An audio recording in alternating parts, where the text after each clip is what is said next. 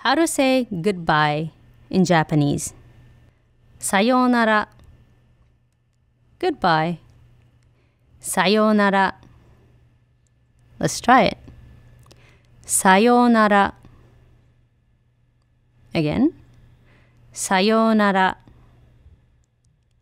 Usually we say see you later. Mata ne. See you. Mata ne. Let's try it. Mata ne. Mata ne. Or see you tomorrow. Mata ashita. Again. Mata ashita.